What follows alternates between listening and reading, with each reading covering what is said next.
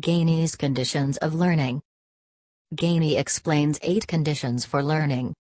1. Signal learning. 2. Stimulus response learning. 3. Chain learning. 4. Verbal association learning. 5. Discrimination learning. 6. Concept learning. 7. Principle learning. 8. Problem solving learning. Signal learning. It is based on Pavlovian conditioning. Two stimuli natural and unnatural are present.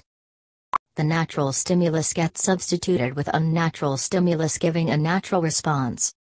Stimulus response, SR, learning. It is based on Skinnerian operant conditioning.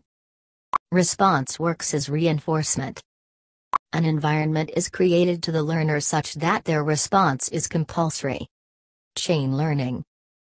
SR learning is the precondition.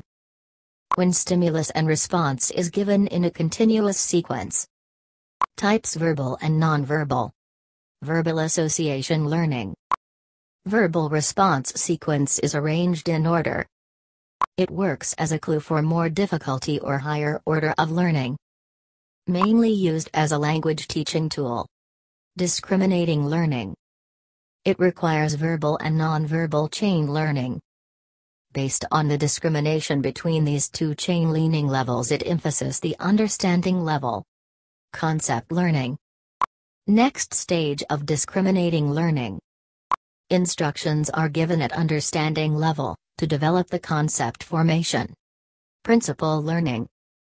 It occurs when two or more concepts are chained at one time.